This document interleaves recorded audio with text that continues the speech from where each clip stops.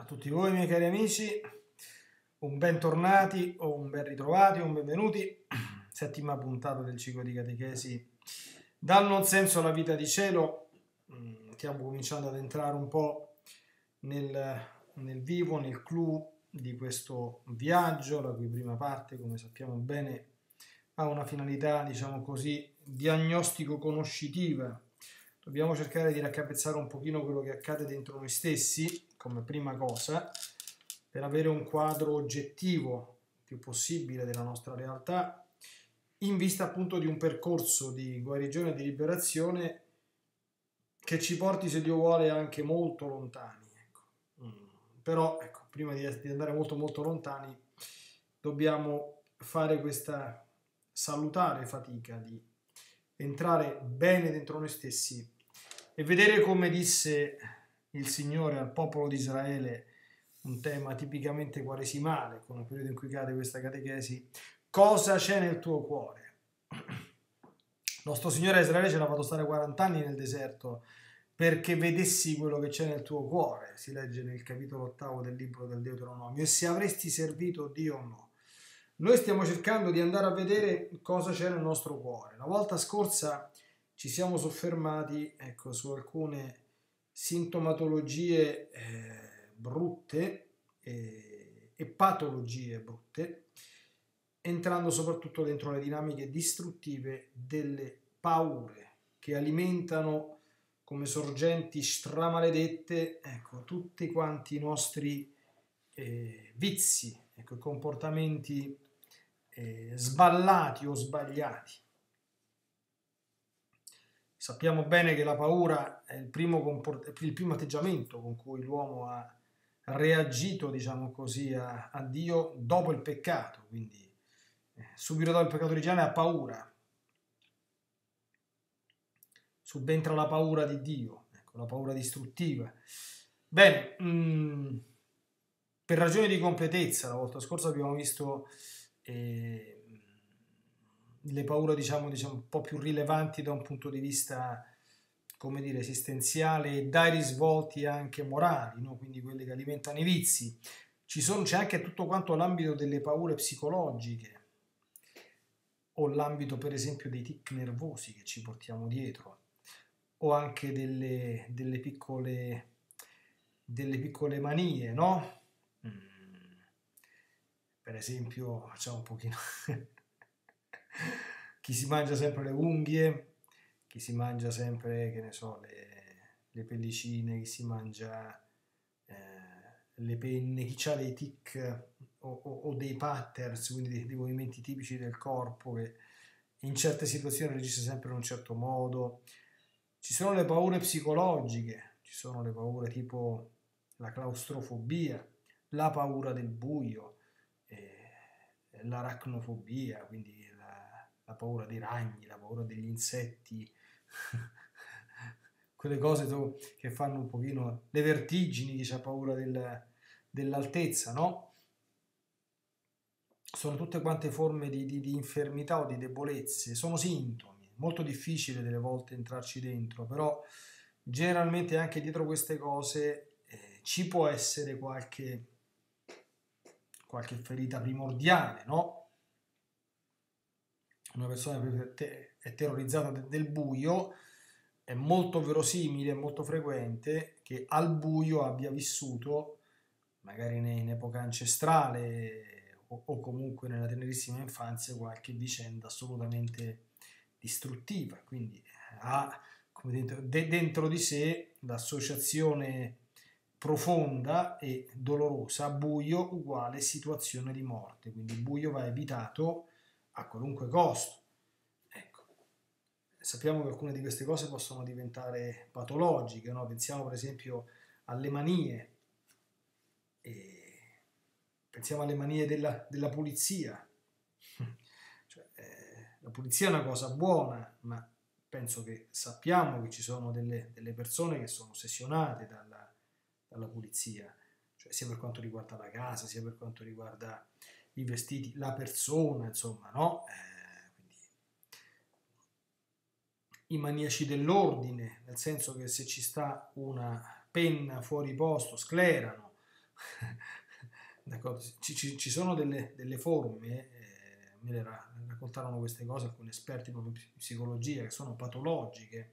Ci sono delle, delle persone che entrano in alcune dinamiche rutinarie, patologiche, e per cui cioè, eh, prima di fare una cosa mettono, eh, cioè, devono, devono, andare a letto, allora devono fare delle, dei movimenti a ripetizione, quindi devono mettere la sedia in quella posizione, la lampada in quell'altra posizione, le scarpe che si sono tolte in quella posizione, le pantofole in quell'altra posizione. E se qualcuno inavvertitamente o volontariamente gli eh, rompe il, la sequenza, quindi gli, gli rompe le uova, è finimondo, devono ricominciare tutto da capo. Eh, questo è quello che purtroppo ci, ci portiamo dietro. No? È chiaro che in un'esperienza di liberazione globale, totale, piena, come quella che nostro Signore realizza, queste cose che sono tutte quante infermità che ci portiamo dietro, debolezze, e dietro le quali chissà che cosa ci sta, perché qui noi in questa analisi riusciremo a vedere qualcosa, ma è sempre un qualcosa, lo vedremo nelle, nelle puntate seguenti, c'è una parte di noi che rimane comunque sconosciuta, che è l'io inconscio che esiste purtroppo. Noi siamo, siamo un mistero per noi stessi, non ci conosciamo così tanto bene. Quindi qui mettiamo un pochino di basi generali per avere quel minimo indispensabile, ma rimangono comunque dei buchi neri, delle zone d'ombra. Tutto questo poi lo dovremmo tutto portare al nostro Signore, perché se non se lo prende in mano Lui per, per farci proprio un un repulisti generalizzato, non usciamo fuori con alcune dinamiche distruttive. Allora, questa sera facciamo uno step seguente, utile sempre per comprendere un pochino quello che accade dentro noi e quali ulteriori dinamiche distruttive possono essere state scatenate o essere tuttora in atto dentro di noi.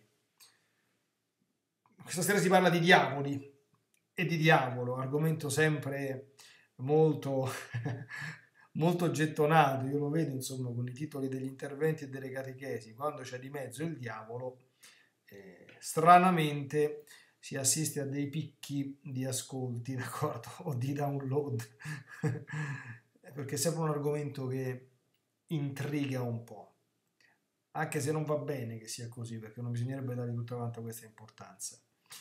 Allora, a fianco alle paure, siccome la paura è una grande la paura è una grandissima leva del diavolo, una delle tante però, dobbiamo vedere un pochino di tecniche eh, con cui siamo fatti fuori dal diavolo.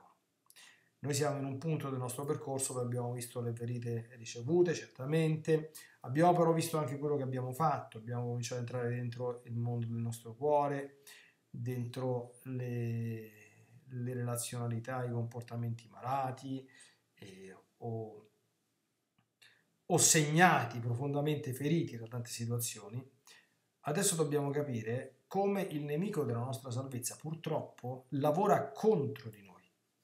Cosa fa, come lo fa, come discernere purtroppo le sue operazioni onde poterci difendere.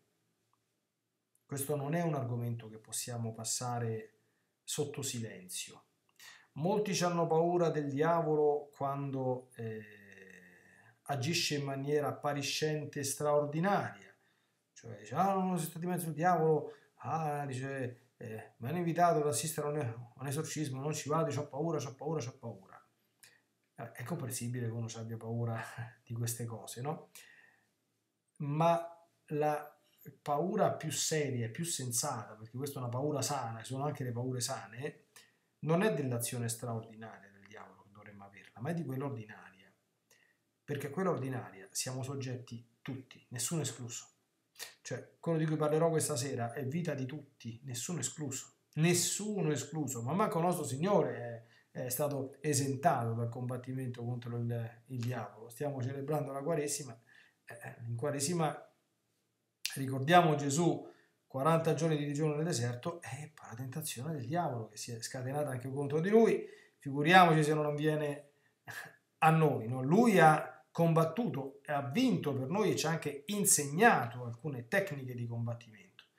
Però il nemico dobbiamo imparare a conoscerlo e ci serviremo di un grande, uno dei più grandi maestri indiscussi, eh, assolutamente indiscutibili oltre che indiscussi, eh, di discernimento che è Sant'Ignazio di Loyola, che nei suoi esercizi spirituali ha scritto delle cose molto edificanti sulle tecniche di combattimento del nemico.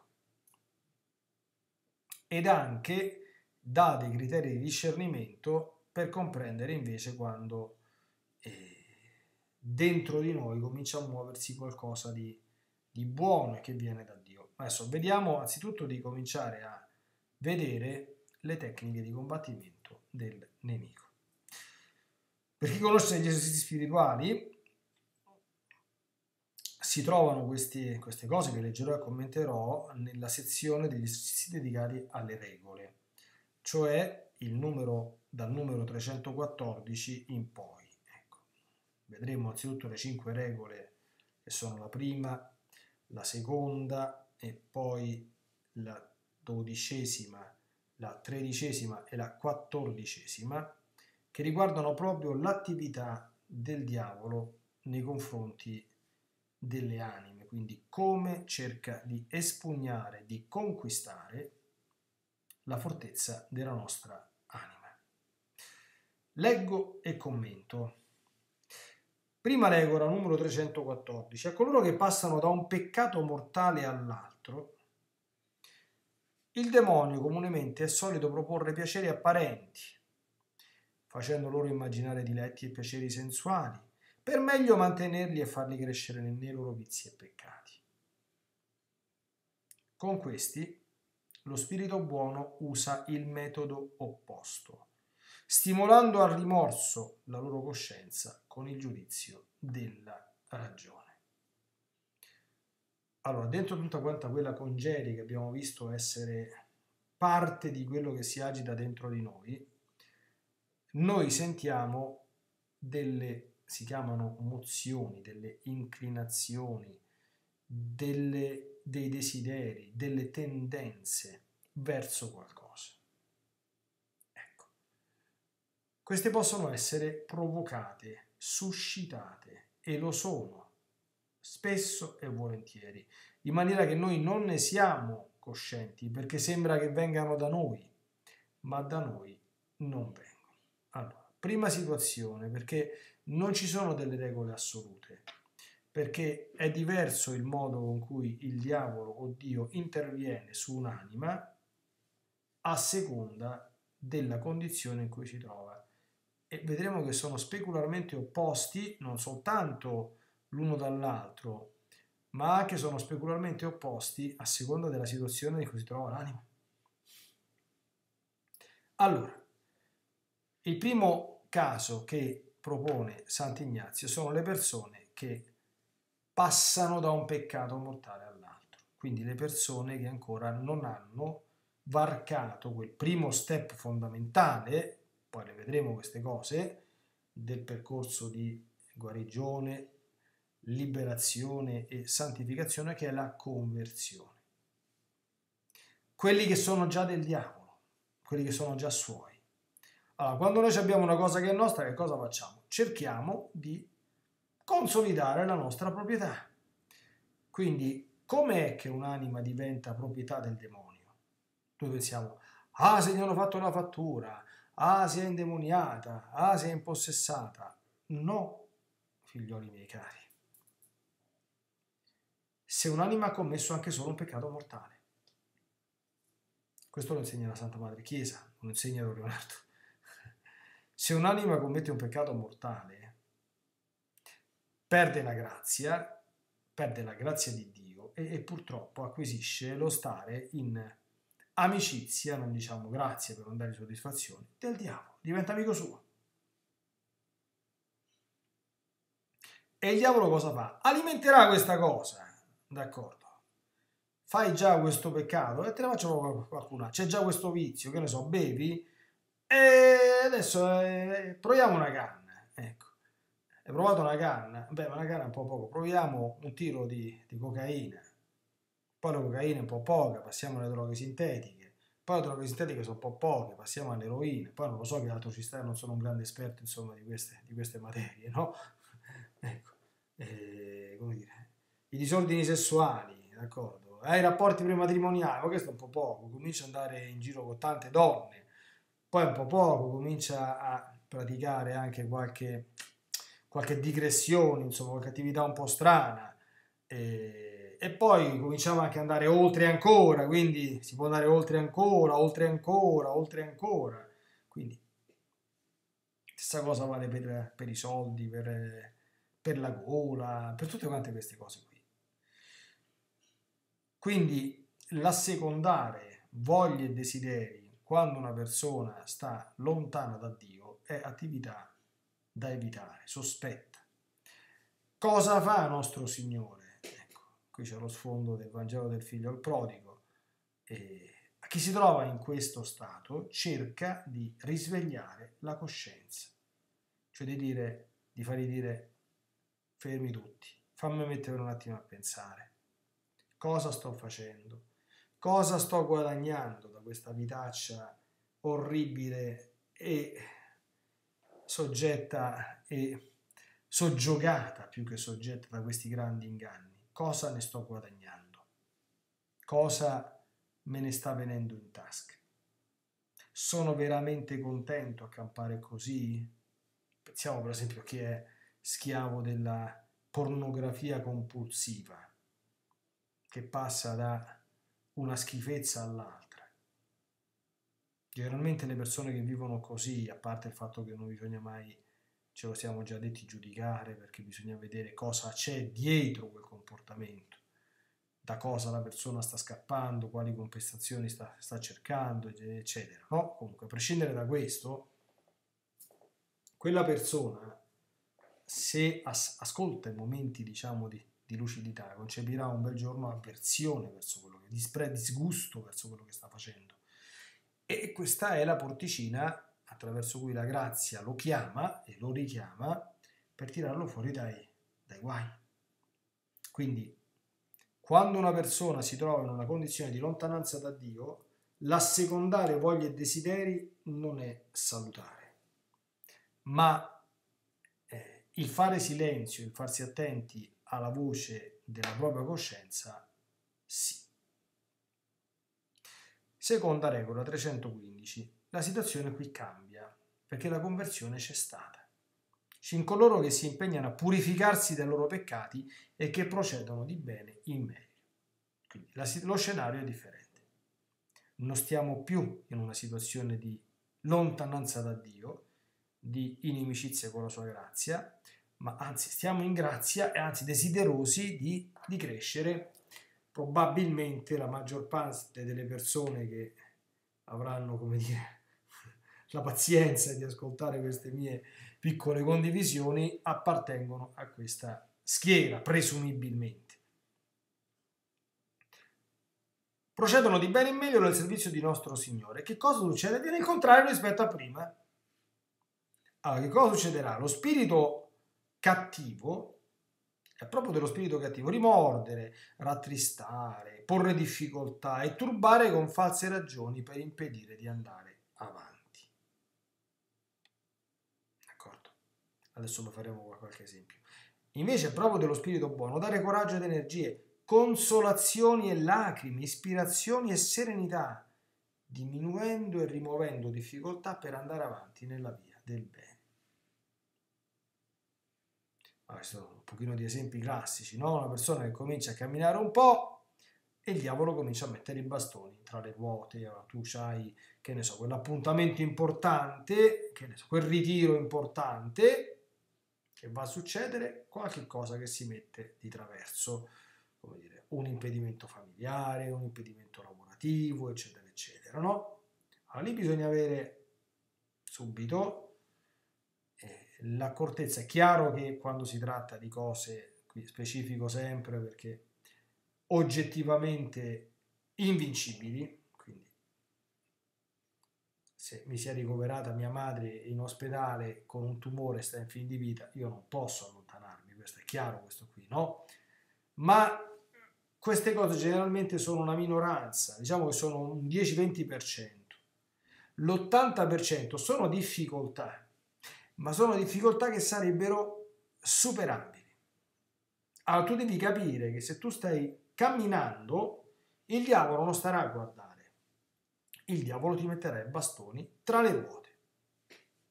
Oppure uno comincerà a pensare, dice, sai, ma quaresima, no? Dice, dice, facciamo qualche digiuno quaresimale, dice, sì, però soltanto quaresimale, eh. Cioè, adesso mica vorremmo stare a fare tutta quanta la vita al digiuno.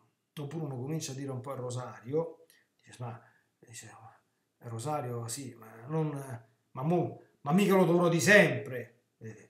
Turbare con false ragioni, quindi porre difficoltà, impedire di andare avanti, no? Oppure la tristezza, rattristare, insomma, no? Eh, il cominciare a percepire, sì, all'inizio è tutto bello con il Signore, no? Poi certamente anche la vita interiore ha una sua disciplina, ha dei momenti dove non è tutto quanto in discesa, d'accordo? Uno prende delle buone abitudini, e dice, però oggi a messa a me non mi va. Ecco, sta attento che quella oggi di andare a messa non mi va, se tu stai acquisendo un'ottima, eccellente abitudine della presenza quotidiana alla Santa Messa, quel oggi non mi va, stai attento che è sospetto. Invece lo spirito buono in questa circostanza soggettiva incoraggia, e dà energie, consolazioni e lacrime, cioè si cominciano a vivere le prime forme di eh, esperienza intima con il Signore, quindi comprese le consolazioni e le lacrime. Sono cose normalissime, molte persone che vivono queste cose si pensano di essere come grandi mistici, insomma chissà che cosa. Queste sono cose normalissime. Soltanto uno si mette in condizione di, di, di poterle vivere, sono cose comunissime e normalissime.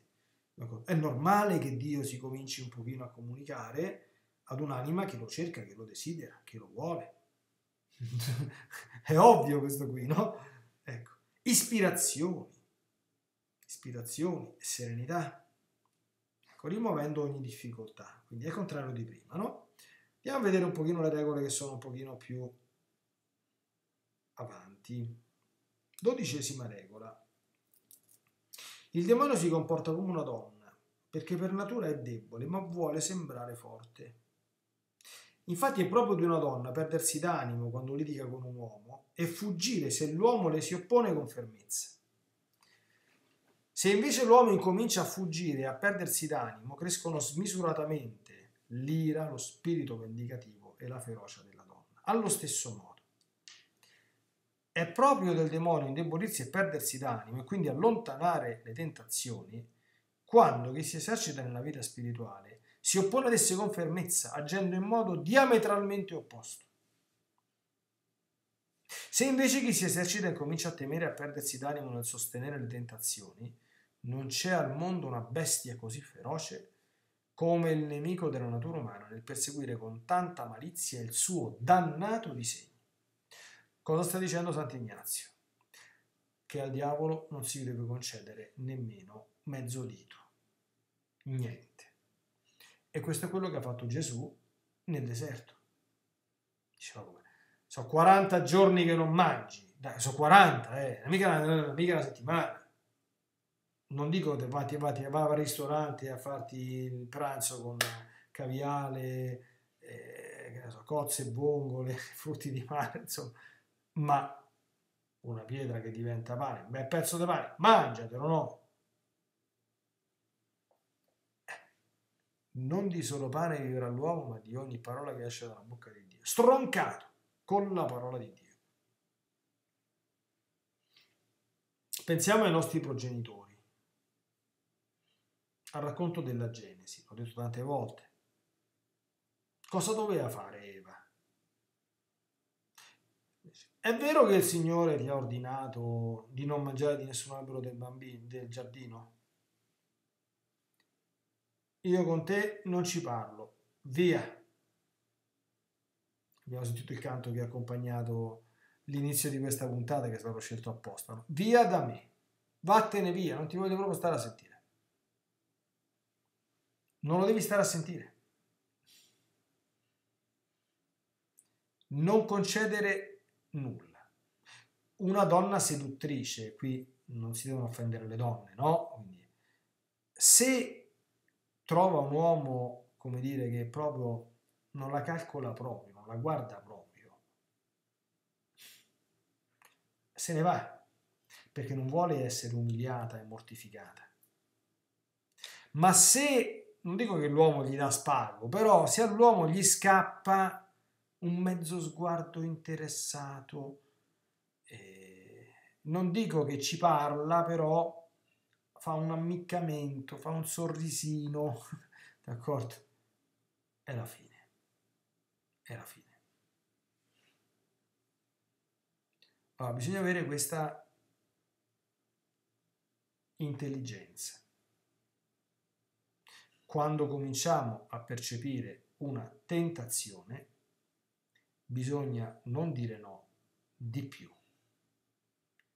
Via, non parlare, non scendere a compromessi, non ascoltare, tantomeno entrare in dialogo, perché se entriamo in dialogo siamo morti. Noi non siamo più grandi di Gesù. Gesù non ci ha parlato col diavolo, mai. L'ha lasciato parlare e dopodiché gli ha opposto con fermezza e risoluzione la parola di Dio e l'ha mandato via. Altra tecnica di assalto del, del nemico. Così pure il demonio si comporta come un frivolo corteggiatore che vuole rimanere nascosto e non essere scoperto. Infatti un uomo frivolo, che con discorsi maliziosi circuisce la figlia di un buon padre o la moglie di un buon marito, vuole che le sue parole o le sue lusinghe rimangano nascoste. Questa è la regola 326, eh? Numero 326 è la regola tredicesima. È invece molto contrariato quando la figlia rivela le sue parole licenziose e il suo disegno perverso al padre o la moglie al marito perché capisce facilmente che non potrà riuscire nell'impresa iniziata. Allo stesso modo, quando il nemico della natura umana presenta a una persona retta le sue astuzie e le sue lusinghe, vuole e desidera che queste siano accolte e mantenute segrete.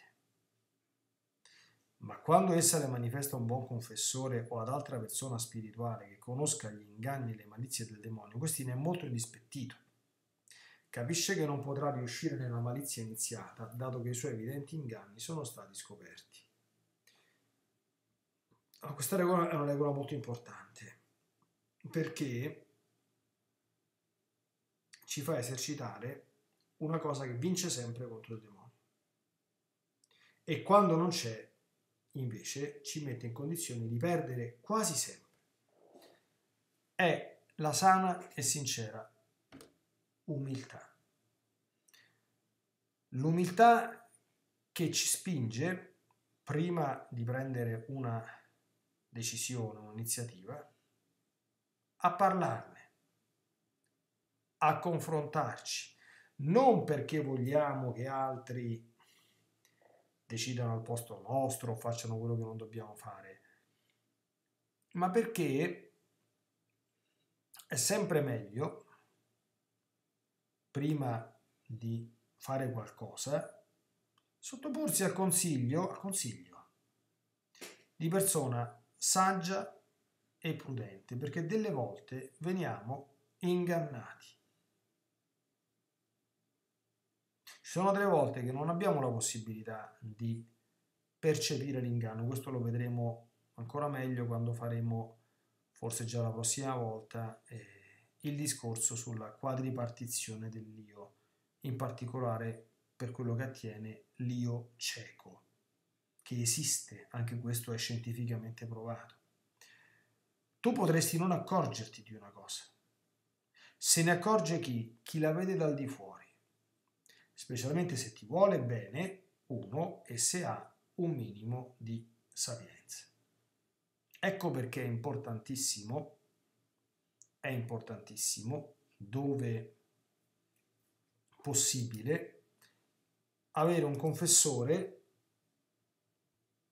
o in certi casi, quando è necessario, anche un direttore spirituale.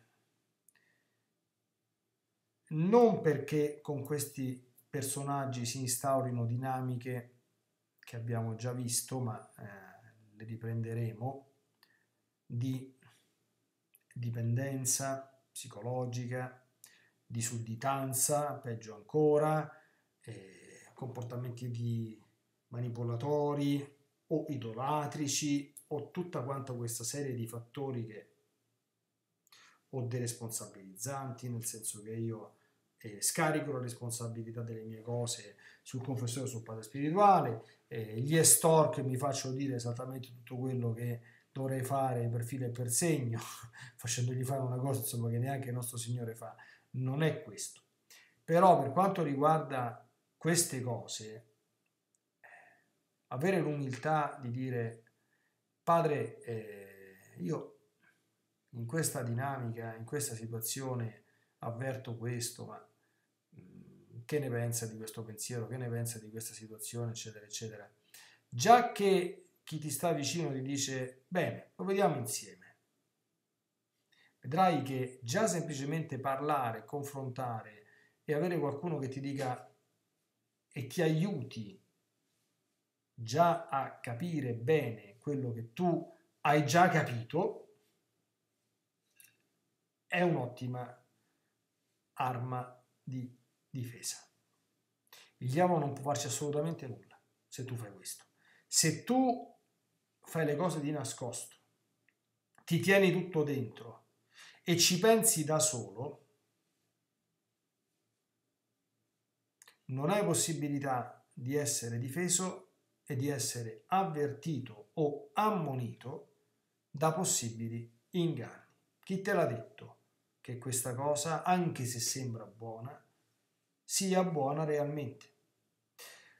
Il diavolo, per portarci nei suoi infernali mondi, a volte, non specialmente con le persone che sono un pochino eh, decise e risolute sulla via del bene, non pensiamo che lui sia così grossolano, cioè se vede una persona che è risoluta sulla via del bene, a quello non gli proporrà come tentazione un peccato mortale, assolutamente, perché quello non lo fa un peccato mortale. E il diavolo non vuole essere umiliato da una povera creatura molto inferiore a lui che quello lo va a tentare e quello ci sputa in faccia perché non lo fa il peccato mortale. Ma non farà mai una cosa di questo genere.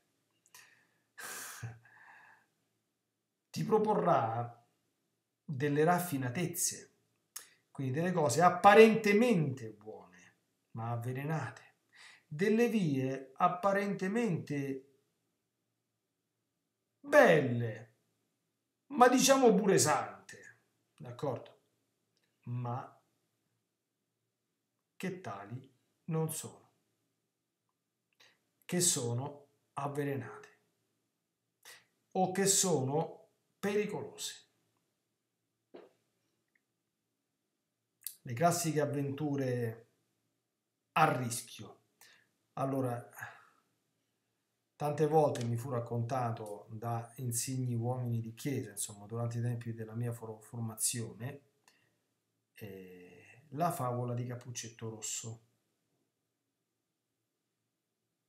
E tra l'altro la favola di Cappuccetto Rosso, mi fu anche detto, io non lo sapevo, eh, terminava in maniera drammatica, cioè il lupo a Cappuccetto Rosso se l'è mangiato, evidentemente travestito dalla nonnina, e non era andato nessun cacciatore poi a sparare al lupo e a tirare fuori dalla pancia del lupo Cappuccetto Rosso. Cappuccetto Rosso era morto. Solo che quando gli editori videro la storia, dissero la favola è bellissima, è molto significativa, molto edificante, però un finale di questo genere ai bambini li traumatizza, quindi cerchiamo di trovargli un lieto fine, è uscito fuori il cacciatore. Cosa ha fatto Cappuccetto Rosso? Cappuccetto Rosso gli è stato detto non andare da solo, non starti da solo nel bosco. Ma no, ma io vado tranquillamente, che problema c'è? Devo andare dalla, dalla mia nonnina, non c'è nessun problema, vado solo. Ecco, inoltrarsi da soli. Attenzione, facciamo un pochino di esempi, perché è sempre bene. Come fa una persona, per esempio, ad essere accalappiata da un movimento pseudo-religioso? Non vorrei fare nomi per non offendere nessuno, no? perché mi, mi, mi urta proprio. Sappiamo che è molto diffuso il fenomeno, come dire, delle, eh, come dire, delle aggregazioni pseudo-religiose, eh, filosofiche, oppure anche religiose in senso stretto, o, o paracristiane, o pseudo-cristiane, o cose di questo genere. Come fa una persona intelligente, che magari è una grande persona di chiesa, io conosco persone, so di persone che sono state accalappiate eh, qui da queste parti c'è eh, una realtà insomma abbastanza preoccupante dal punto di vista ecclesiale che ha già eh, non voglio ripeto fare nomi fare eh, che, che, che, ha già insomma evidentemente ricevuto scomuniche insomma da parte di, de, della chiesa cattolica ma lì sono andate a finire persone che andavano a messa tutti i giorni che si confessavano tutte le settimane.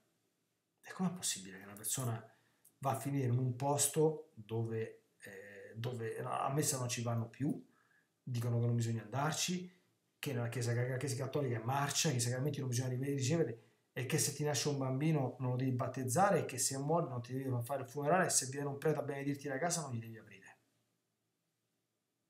Come fa una persona che andava a messa tutti i giorni a trovarsi in una situazione del genere, secondo voi? Secondo chi sta ascoltando questa cosa qui? Com'è possibile? È stata accalappiata. Ma attenzione, non è mica stata accalappiata in maniera grossolana. Come l'hanno fatto? Come hanno fatto ad accalappiarla? C'è tutta quanta una procedura, diciamo così. procedura che deve presentare questa cosa come bella, come accattivante, come vera, d'accordo? attraverso tutta quanta una serie di manipolazioni successive. Allora, se tu rimani da solo, ha voglia di andare a messa tutti i giorni, ha voglia di confessare tutte le settimane, puoi essere fatto fuori. Allora tu che cosa devi fare se sei intelligente? La prima volta che prendi contatto con qualcuno di questo, con qualche persona che ti comincia a parlare di queste cose, se non sei capace di dire tu ce l'hai con la Chiesa Cattolica, bene, non ti voglio neanche stare, ti voglio bene, però non ti voglio neanche stare a sentire. D'accordo? Vieni a dirmi tutto quanto, ma non mi parlare mai della Chiesa, lo so benissimo che nella Chiesa cattolica ci sono tante cose che non funzionano, che i suoi figli non sono più santi degli altri, hanno bisogno di conversione, ma non mi venire, no, cioè, ciò nonostante non si tocca. D'accordo? Se non hai questa capacità, parla con qualcuno prima che sia troppo tardi.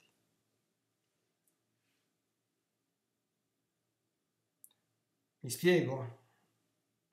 Guardate, bisogna fare molta molta attenzione. Eh. Quindi questa attenzione, questa, questa tentazione non è che a quello che andava a messa tutti i giorni gli ha detto vattene a prostitute, quello non ci va a prostitute, non glielo dice, perché non ci andrà. Ma se una persona poi si trova in una realtà de, del genere, poi una volta che entra dentro quel mondo, d'accordo? Questi mondi, io ho degli amici che lavorano al GRIS per esempio, sono caratterizzati da una serie di meccanismi eh, standardizzati che sono terribili. Se uno entra in una realtà di questo genere, poi eh, è teoricamente possibile uscire, ma è molto difficile. È molto difficile. E anche lì, per uscirne, ci sarà bisogno di farti aiutare da qualcuno, quindi di arrivare a un momento in cui tu chiedi aiuto, in cui tu apri il cuore, perché è quasi impossibile venirne fuori da, da soli. Quindi non si possono affrontare eh, certe dinamiche, certe problematiche da soli e bisogna avere l'umiltà di farsi consigliare o di chiedere un consiglio o di confrontarsi.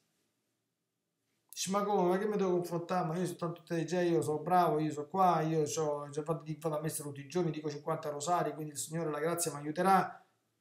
Sì, ti aiuta, però il nostro Signore ha voluto che noi ci facessimo eh, aiutare gli uni dagli altri, che nessuno di noi fosse autosufficiente. Io dico sempre, il Papa, che insomma il capo della Chiesa Cattolica, il vicario di Cristo in terra, il Papa si confessa, non si può dare la soluzione da solo.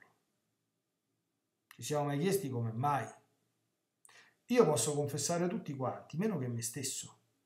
Io mi devo confessare, devo andarmi ad umiliare, devo andare da un mio confratello a dirgli le mie miserie. Io non posso fare il direttore spirituale a me stesso, posso farlo a a tante persone che me lo chiedono se sono in grado di farlo, ma sicuramente non lo posso fare a me stesso. Non lo posso fare a me stesso.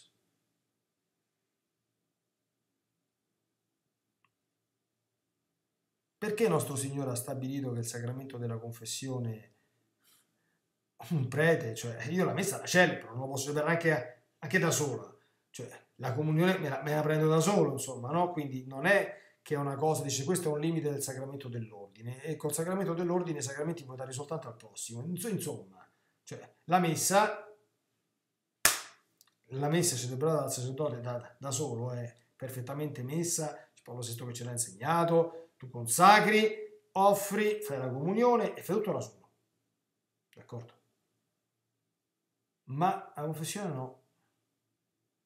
L'olio santo no se io starò male, dovrò chiedere a qualche confratello che, che abbia la carità di venirmi a dare l'olio santo. Non me lo posso dare da solo.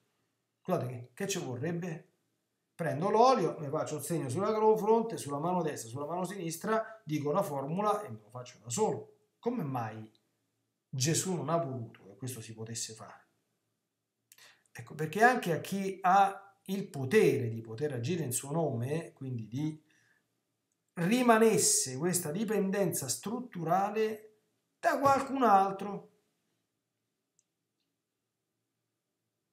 Perché solo Dio fa da solo, solo Dio fa da sé. Noi diciamo che chi fa da sé fa per tre, va bene, per certe cose può essere una buona intuizione, non per tutte però. Allora, quando si sta soprattutto già avviati nel bene. Bisogna fare attenzione perché il diavolo si raffina, non è più, come dire, grossolano, d'accordo? Quindi non è che ti, ti propone, ma diventa raffinato. Quindi non ti propone immediatamente una cosa negativa, ma ti ci porta piano piano, attraverso un raggiro, attraverso una trappola, attraverso un inganno. Solo chi c'ha naso può dirti non ti imbarcare in questa cosa. figlioli miei cari, io dico queste cose perché eh, non voglio, e mi atterrò a questa cosa, non voglio fare esempi né nomi di nessuno, mai. Però nel corso della storia ci sono stati grandi personaggi, anche qui vorrei evitare di fare nomi, d'accordo? Però anche tra i padri della Chiesa, così siamo generali, che erano dei geni, delle persone straordinarie, si sono fatti lentamente accalappiare da gruppi ereticali e qualcuno è morto, speriamo che il Signore abbia comunque provveduto alla salvezza della sua anima, vicino a questi pseudo gruppi e lontano dalla Chiesa Cattolica. Le modalità, cioè tu dici ma come? Un ministro un prete, un vescovo, un teologo di quel calibro, come ha fatto a farsi abbindolare? Eh. In tempi recenti ci sono stati, insomma, vabbè, questo è un fatto pubblico, penso, io rimasi, io, io ero piccolino, insomma, no? Eh,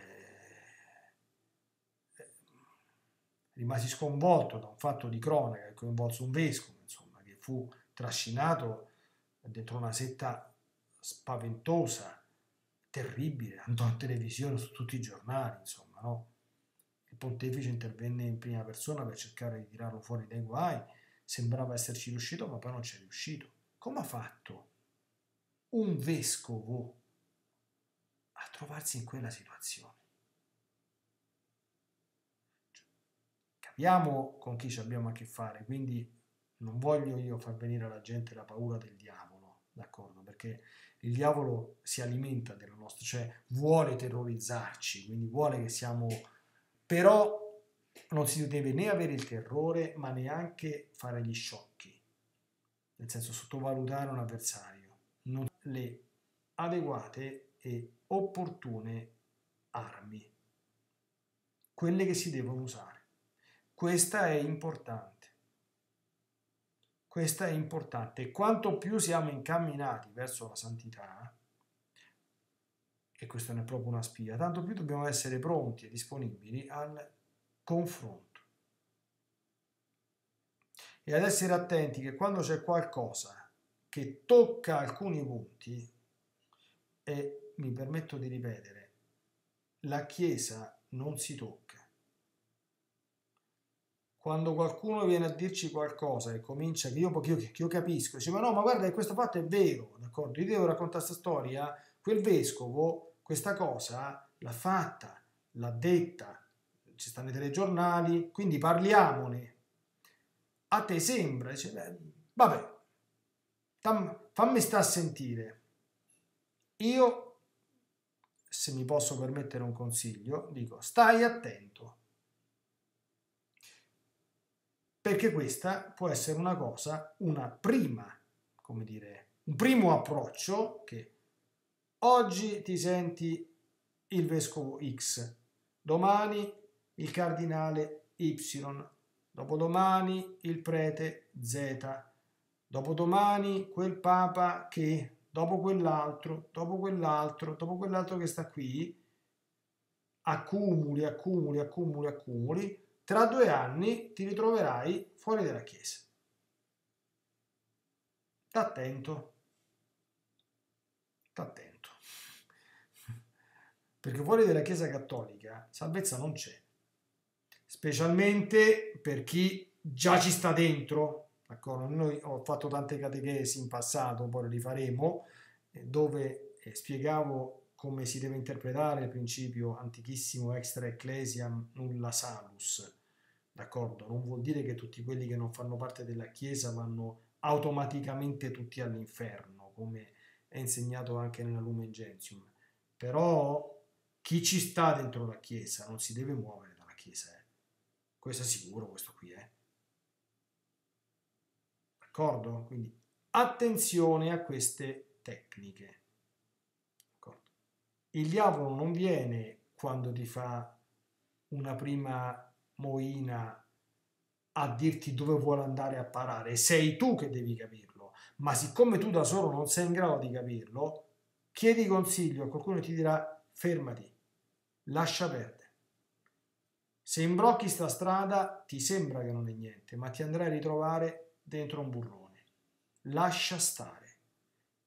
E se ti dice lascia stare, tu abbi l'umiltà di lasciar stare si campa lo stesso.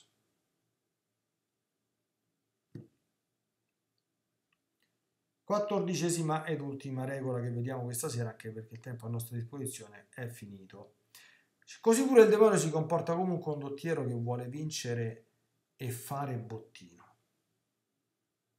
Infatti un capitano che è capo di un esercito pianta il campo ed esamina le difese o la disposizione di un castello e poi lo attacca dalla parte più debole allo stesso modo il nemico della natura umana ci gira attorno, San Pietro, come leone ruggente va in giro cercando di divorare. Esamina tutte le nostre virtù, teologali, cardinali e morali, e poi ci attacca e cerca di prenderci dove ci trova più deboli e sprovveduti per la nostra salvezza eterna. Questa è un'altra cosa terribile Io mi permetto di aggiungere, non voglio certamente fare le glosse a Sant'Ignazio che è un mostro in senso buono, insomma, un gigante del discernimento degli spiriti, no? E non è solo un problema di scarsità in qualche virtù teologale, cardinale e morale, ma anche le nostre debolezze psicologiche. Quello che abbiamo visto la volta scorsa, le paure, le leve su cui può lavorare sulla nostra anima. Attenzione perché è una vecchia volpe il diavolo. Ha esperienza quanti migliaia di anni sono che Dio ha creato gli angeli io sinceramente non lo so. Credo che siano un bel po'. Quando è accaduto il peccato originale? Bella domanda, no? Secondo la cronologia biblica comunque almeno 4.000 anni avanti Cristo, quindi 4.000 più 2.000 abbiamo già 6.000 anni di esperienza con tanti esseri umani, insomma, no? Quindi avrà imparato qualcosa eh, il diavolaccio, no? Forse sì. Ecco, quindi Attenzione, perché saremo attaccati sui nostri punti deboli. Tu conosci i tuoi punti deboli? Sei in grado di conoscerli? Sei in grado di riconoscerli? Sei in grado di amministrarli, di gestirli? Punto interrogativo. Stiamo dinanzi ad un avversario astuto e cattivo il suo scopo è di portarci alla rovina, di portarci all'infelicità, di portarci lontani dalla via del Signore, di non farci prendere nessuna delle tante grazie che il Signore ci ha riservato e se ci riesce di portarci all'eterna dannazione, che non è una cosa bella. Quindi dobbiamo fare attenzione dentro la nostra realtà esistenziale, così la, mh, mm, l'argomento di questa sera, a tenere presente che oltre al nostro panorama psico-emotivo già abbastanza turbolento e complicato, dobbiamo fare i conti anche con questo, che tra l'altro con questo nostro panorama turbolento e complicato ci gioca come il gatto col topo. Ecco, quindi dobbiamo fare attenzione e dobbiamo avere l'umiltà di chiedere aiuto e di farci aiutare, non costituirci nelle nostre cose giudici di ultima istanza. Questo tiene lontano il diavolo e gli impedisce di fare non pochi dei danni che avrebbe intenzione di arrecare alle nostre persone. La prossima volta faremo, se dico, uno step ulteriore andando a decodificare come è fatto il nostro io. La prossima volta ancora, se il Signore ci aiuta, andremo a vedere il discorso che qualcuno già conosce perché ne ho parlato ampiamente in passato del nostro DNA interiore, cioè non sappiamo tutto quello là biologico, che è appunto il nostro temperamento. Però una cosa alla volta, ci aggiorniamo. Un buon fine settimana a tutti, tutto sempre alla maggior gloria di Dio. Alla prossima e a presto.